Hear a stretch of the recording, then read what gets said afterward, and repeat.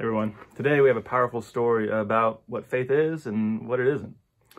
The disciples brought the boy to Jesus, and when the Spirit saw him, it immediately threw the boy into a fit. He fell on the ground and rolled around, foaming at the mouth. Jesus asked his father, How long has this been going on? He said, Since he was a child. He's often thrown him into a fire, into water, trying to kill him. If you can do anything, help us. Show us some compassion. Jesus said to him, If I can do anything? All things are possible for the one who has faith. At that, the boy's father cried out, I have faith. Help my lack of faith. Noticing that the crowd had come running together, Jesus spoke harshly to the unclean spirit. Mute and deaf spirit, I command you to come out of him and never enter him again. After screaming and shaking the boy horribly, the spirit came out. The boy seemed to be dead. In fact, several people said that he had died. But Jesus took his hand, lifted him up, and he arose. Do you believe in God or not? Do you confess that Jesus Christ is Lord or do you deny it? Uh, it's a simple question. Yes or no, right? That's usually how we present these sorts of things, don't we? But is that how belief really works?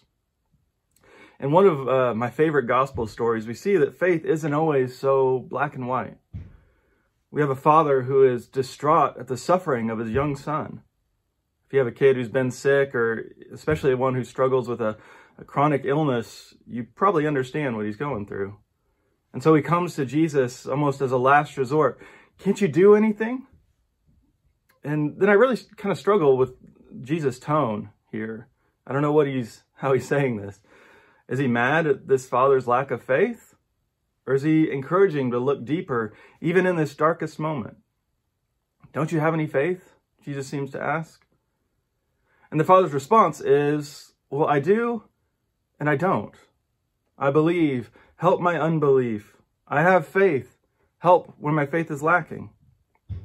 What we see is that faith is less of an either or, it's more of a sliding scale. It has an ebb and flow. Some days it's strong and some days it's weak.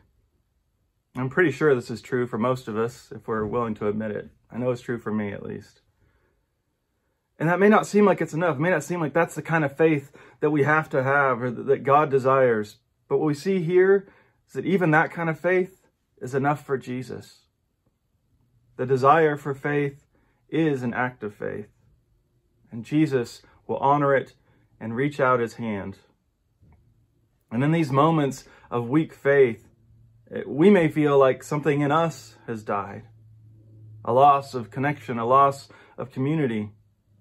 But even there, Jesus can raise us to new life.